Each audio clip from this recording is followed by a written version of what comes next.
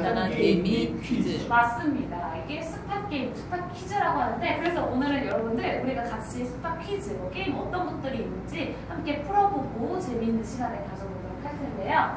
자, 우선 처음입니다, 여러분들. 아까 레크레이션 스팟이라고 했죠.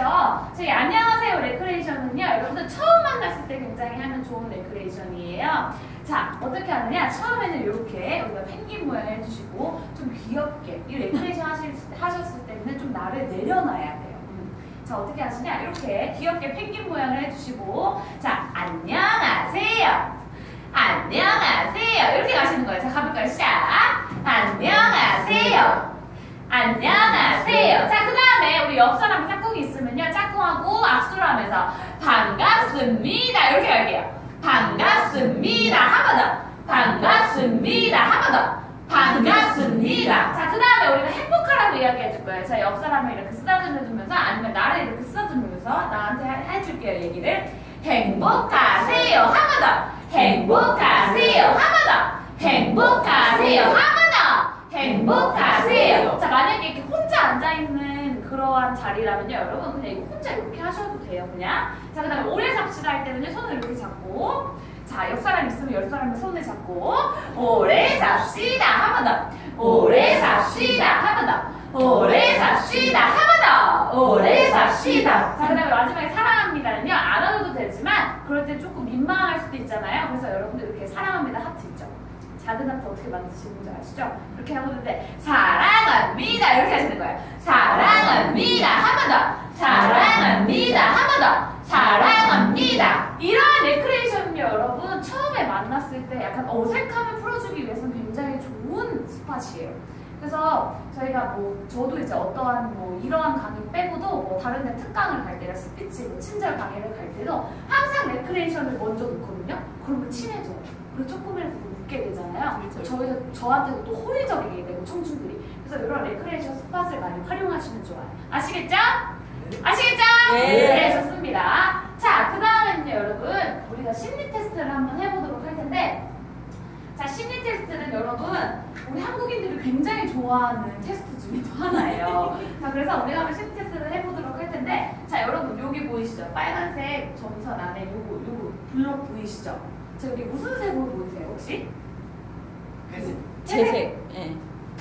영수님이 무슨 색 보이세요? 여기 안에, 이거 색깔 무슨 색으로 보이세요? 검정. 검정이야? 네. 이게 검정으로 보이는 거야? 자, 첫 번째 회색으로 보인다. 자, 혹시 빨간색 안, 안, 안 계시죠? 자, 노란색 혹시 있으신가요? 베이지색 계통. 노란색. 안 보이세요? 자, 영수님 자세히 한번 보세요. 눈 크게 뜨고. 무슨 색으로 보이세요? 그냥 회색이에요. 회색, 회색으로 보이죠? 네. 아, 여기는 다 회색이네요. 근데 거의 대부분 노란색이 많아요. 네? 베이지색 계통. 그 눈에 본 일이냐? 아니 이게 여기 여기 노란색이 몰라서 그런 것 같아요. 제가 볼 때는 그래서 여기 여기 요 색깔을 말하는 거거든요. 지금 회색, 빨간색, 노란색, 빨간색으로 보이시는 분들도 있어요. 그리고 특히나 어린 친구들 있죠. 중학교, 고등학교 여기를 많이 가면 애들이 빨간색으로 보인다는 애들이 많더라고요. 근데 사실 저도 회색으로 보여요. 근데 베이지색 계통 노란색으로 보이신다는 분들도 굉장히 많으세요. 가장 많이 갈리는 게 회색이랑 노란색인데 노란색이 더 많을 때가 있어요. 네, 그럼 결과를 보도록 할게요. 자, 1번 회색. 우리는 다 회색으로 보이죠? 자, 중립적 성향으로 어떤 일에도 흔들리지 않는 온화함을 네. 제전입니다, 여러분. 좋은 거예요. 자, 두 번째 빨간색은요. 매우 공격적 성향을 띠며 굉장히 신경질적인 분노형이라고 합니다. 자, 그리고 세 번째 노란색은 공격적인 성향으로 다소 공격적이고 약간 신경질적이고요. 자, 그리고 이게 흔들리는 빨간색으로 보인다는 학생들도 있었어요. 흔들리는 빨간색은요, 여러분. 굉장히 땡땡코 기질이 제가 말을 할 수는 없지만 땡땡코 기질이 있는 친구들이라고 합니다. 근데 저도 회색으로 보이거든요. 어떻게 이게 노란색으로 어떻게? 빨간색이에요? 이런 생각으로 많이 보이거든요. 점 선만. 네. 근데 노란색도 굉장히 많이 나와요. 다른 곳에서. 네. 항상 그리고 여러분들 심리 테스트를 할 때는 서로 너무 사람들이 여기에 열연하지 않도록 재미로 하는 거니까 어디까지나 재미로 봐주시면 좋겠다고 이렇게 말을 한마디씩 해주시는 게 좋아요. 네. 자, 그러면 다음으로 가보도록 할게요. 다음 심리 테스트입니다. 자, 여러분, 제가 지금 똑같은 두 개의 사진을 보여드릴 텐데 틀린 그림을 찾으시는 거예요. 똑같은 사진에 틀린 부분이 다섯 부분이 있거든요. 근데 여러분들이 제가 딱 보여줬을 때 먼저 보이는, 가장 먼저 보이는 첫 번째 틀린 부분을 여러분들이 기억해 주시면 돼요. 이해하셨죠? 네, 자, 가볼게요. 짠! 어디가 제일 먼저 귀 보이셨어요? 귀?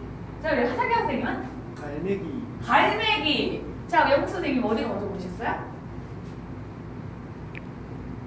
어디 먼저 보이세요, 혹시? 자세히 꼬리, 꼬리, 찾아보세요. 꼬리. 자세히 찾아보세요.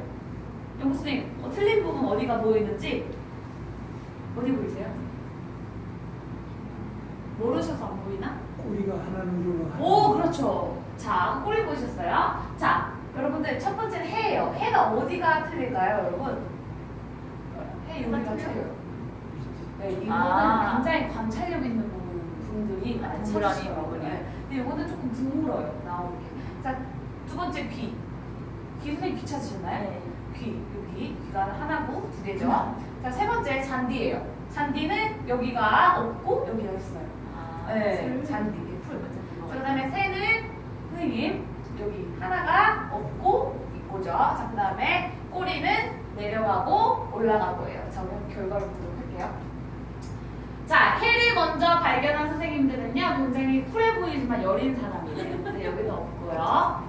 자, 그 다음에 귀를 가장 먼저 발견한 선생님은요, 사고방식이 독특한 매력의 소유자래요. 우리 행복 내. 네. 자, 그 다음에 잔디를 가장 먼저 발견하신 분들은 여기는 없지만 예리한 직관과 여린 감정을 가진 분들이라고 합니다. 자, 그 다음에. 새를 먼저 발견한 선생님은요 자기 감정에 솔직하고 예민한 스타일이라고 합니다. 어때요? 선생님 맞는 것 같아요? 어, 맞죠. 자, 그 다음에 가장 먼저 발견한 영국 선생님은 부드럽고 유순한 사람이래요. 맞나요? 어떻게 영국 선생님? 맞다고 하죠? 전문가니까. 자 이렇게 해서 여러분들 이것도 여러분들이 그냥 쉽게 뭐 재미로 할 수 있는 심리 테스트 중에 하나라는 거 여러분들이 어, 알아주시면 좋겠고요. 또 있을 거예요. 아 이것도 한번 해보도록 할게요. 자 요거 심리 테스트 여러분 약간 줄거리 이야기가 있는 심리 테스트예요. 근데 여러분들 제가 읽어드릴 테니까 머릿속에 그 상황을 한번 상상, 상상해 보세요. 가볼게요. 자, 햇볕이 따사롭게 내리쬐는 화창한 주말입니다. 여러분은 오늘 오랜만에 어떤 약속도 없이 집에서 주말의 여유를 만끽하고 있었죠.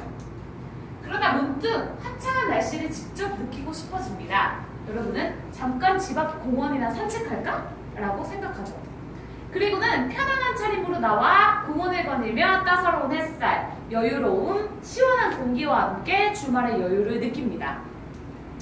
산책을 마치고 집에 돌아가던 중 한 아이와 마주칩니다. 아이는 무척 소중한 물건인 듯 마냥 두 손에 조그마한 화분을 들고 있습니다. 그 아이는 당신에게 화분을 건네며 이야기합니다. 햇볕이 잘 드는 곳에서 매일매일 물을 주면 예쁜 꽃이 필 거예요. 그렇게 화분을 건네받고 햇볕이 잘 드는 곳에서 매일매일 물을 주면서 소중하게 키웁니다. 그리고 얼마 지나지 않아 화분에서 예쁜 꽃이 핍니다. 자, 여러분들 머릿속에 상상하셨죠? 화분. 자, 여러분들, 당신이 소중하게 키운 화분에서는 어떤 꽃이 피어났을까요? 자, 1번, 말라버려 꽃이 피지 않았다. 2번, 귀여운 느낌의 새빨간 꽃, 새송이가 피었다. 3번, 여러 송이의 작고 하얀 꽃이 피었다. 4번, 커다란 자주색의 꽃 한 송이가 피었다. 자, 내 눈에는 이런 뭐가 4번은 아니고 네. 이 3번 중에서 자, 골라줬어요? 자, 생각해 누구? 2번 2번. 행복 선생님은요? 2번, 4번 고민 중에 2번 뭐죠? 영국 선생님은요? 저는 3번 3번. 행복 선생님만 고르시면 돼요. 몇 번? 2번으로 할 2번으로. 자, 우리 2번 두 분이고 3번 오늘 보도록 할게요. 1, 2, 1. 자, 1번 없었고요. 2번은요. 사랑하는 사람에 만족하는 타입이래요.